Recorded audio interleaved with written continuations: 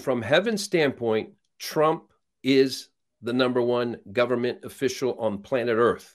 He is the president, not just of the United States, he is God's president for Earth at this time.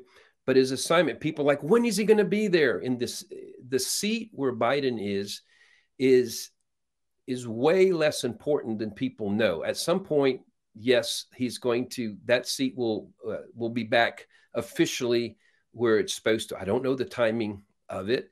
Um, I had no idea of the full picture, the full range of everything that needed to be corrected and brought into alignment with the kingdom of God. When I was getting the original prophetic words on it, all I my initial stuff was the world will be known as before and after Trump when he comes in. And I was even looking at my prophetic word from four years ago. It's going to be an eight year operation for for for that to for that to happen.